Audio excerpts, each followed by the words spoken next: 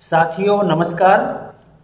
प्रत्येक शासकीय कर्मचारी को प्रत्येक महीने यह उत्सुकता रहती है कि हम अपना वेतन या एरियर्स जो शासन की ओर से भुगतान हुआ है, उसे चेक करें।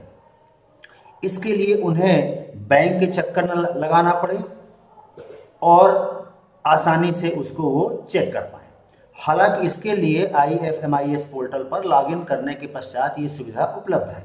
लेकिन हमारे बहुत सारे साथी यूज़र नेम पासवर्ड इत्यादि का रख रखाव उसका मेंटेनेंस इतना तकनीकी रूप से सक्षम नहीं रहते कि उसको मेंटेन कर पाएँ। तो इसके लिए एक बहुत ही आसान तरीका मैं आपसे शेयर करूँगा कि आप बिना I F M I S portal में लॉगिन किए, बिना बैंक गए, आप किस तरीके से हर महीने आपके खाते में मध्य प्रदेश शासन के ट्रेजरी की तरफ़ से कितना वेतन या एरियर आया है, उसको आप आसानी से चेक कर सकते हैं। आइए देखते हैं कैसे।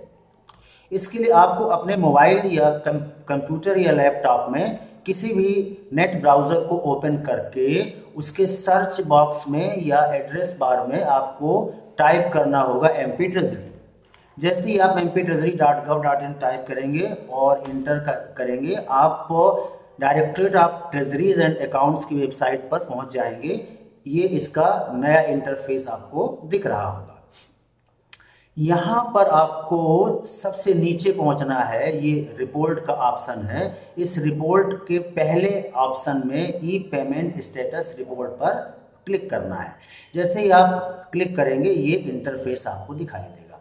ध्यान से इसको आप समझेंगे, यहाँ पर चार फ़ील्ड हैं। इन चार फ़ील्ड पर जानकारी इंटर करते ही आपके अकाउंट में ट्रेजरी की तरफ़ से कितने पेमेंट हुए हैं, वेतन, एरियर सहित, वो आप बड़ी आसानी से चेक कर सकते हैं। चलिए एक उदाहरण से चेक करते हैं, मैं अपना ही एग्ज़ाम्पल ले लेता हूँ। इसके लिए आपको यहाँ पर वर्ष टाइप करना होगा। वो भी Y Y Y Y format में। मान लीजिए मैं 2021 का चेक करना चाहता हूँ, और यहाँ पर जो दूसरी टैब है, उसमें मंथ आपको इंटर करना होगा, और ये मंथ एम एम फॉर्मेट में होना चाहिए डिजिट में जैसे जनवरी के लिए ज़ीरो वन फरवरी के लिए ज़ीरो टू दिसंबर के लिए बारह हो गया। फिर यहाँ पर आपको अपने बैंक का आईएफएससी कोड और अकाउंट नंबर इंटर करना होगा। यहाँ पर इस फ़ील्ड में आपको बहुत सावधानी बरतनी है। इस फ़ील्ड में आपको आ, जो बैंक आईएफएससी कोड है, उसको अंग्रेज़ी वर्णमाला के कैपिटल लेटर में इंटर करना होगा। स्मॉल में अगर इंटर करते हैं तो एक्सेप्ट नहीं करेगा। इतना करने के पश्चात आपको जनरेट रिपोर्ट बटन पर क्लिक करना होगा। जैसे ही आप जनरेट रिपोर्ट बटन पर आप क्लिक करेंगे, आपके सामने ये इंटरफेस आपकी जानकारी के साथ उपलब्ध होगा।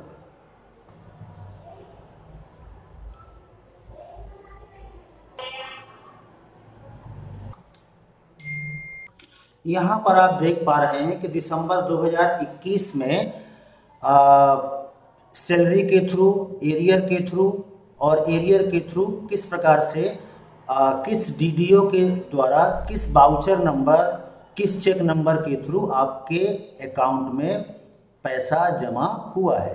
तो इस प्रकार से पूरी जानकारी बड़े आसानी से आप एकत्रित कर सकते हैं। तो ये बहुत ही इम्पोर्टेंट जानकारी थी आप सभी सम्मानीय खासकर शिक्षक साथियों के लिए, कि आप बिना ट्रेजरी गए, बिना बैंक गए, बिना ट्रेजरी के I F M I S में लॉग इन किए, आप बहुत आसानी से M P treasury dot gov dot in पर विज़िट करके, रिपोर्ट ऑप्शन पर पहुँच करके, आप अपने वेतन एवं एरियर्स की जानकारी, डेट एवं वाउचर नंबर सहित बहुत आसानी से आप चेक कर सकते हैं। तो मित्रों आज के इस वीडियो में इतना ही। अगले वीडियो में शीघ्र ही आपसे मुलाकात होगी। तब तक के लिए जय हिंद।